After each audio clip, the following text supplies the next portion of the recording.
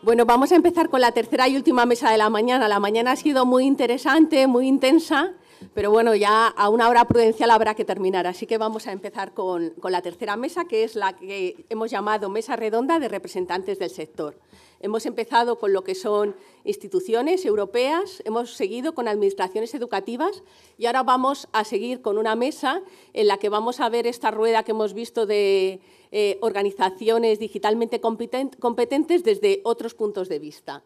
Vamos a verlo desde la universidad, desde empresas, fundaciones y luego vamos a tener el punto de vista de un director del centro. Hemos visto aquí y hemos dicho repetidas veces que lo más importante son los centros educativos, pues por fin vamos a tener a un director de un centro educativo que nos cuente cómo lo hace y cuáles son sus necesidades, cuáles son sus problemas y qué es lo que ha conseguido él con su centro.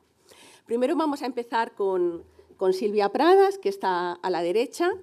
Ella es doctora en Ciencias de la Educación, licenciada en Psicopedagogía, maestra y Bachelor of Education por la Universidad de Gales. Ella tiene una larga experiencia en implementación de la tecnología en el ámbito educativo. De hecho, su tesis doctoral fue sobre las redes sociales como instrumento de liderazgo para los directivos escolares. Pero ahora ha pasado a investigar sobre, sobre todo temas de neurotecnología.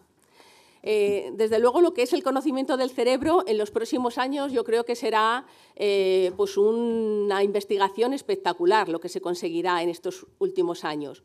Si recordáis, pues, eh, la investigación más importante que ha habido en las últimas décadas fue el proyecto Genoma Humano, en el que se secuenció todo el genoma humano en 15 años, y ahora el nuevo proyecto que impulsó Obama es el del conocimiento del cerebro, es decir, cómo pensamos, cómo aprendemos, cómo memorizamos.